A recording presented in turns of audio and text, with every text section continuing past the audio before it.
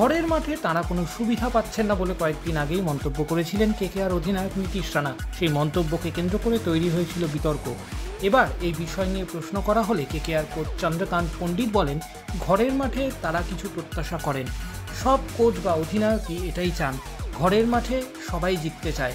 তারা ইডেনের পিচ বা অন্য বিষয় নিয়ে কথা বলছেন না, তবে ইডেনে কিছু ম্যাচ জিততে না পারার কথা অবশ্যই বলছেন তারা।